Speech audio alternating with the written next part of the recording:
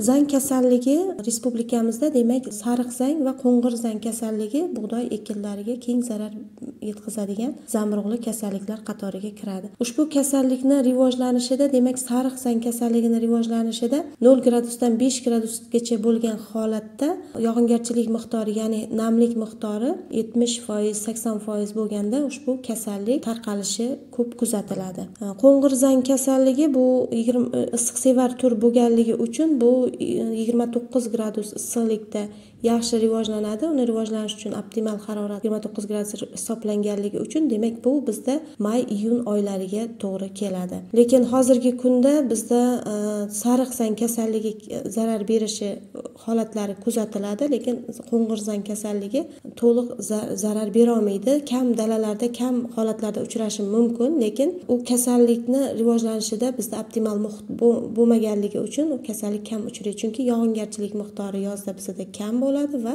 ob havomiz o'sha bug'doy pishish davrida o'ttiz besh qirq gradusni tashkil qilganligi uchun. Demak sariq zang kasalligi haqida gapiradigan bo'lsak bugungi kunda e, dalada sariq zang kasalligi dala chetlarida o'sha E, o'simliklarda uchrash holatlari kuzatilmoqda.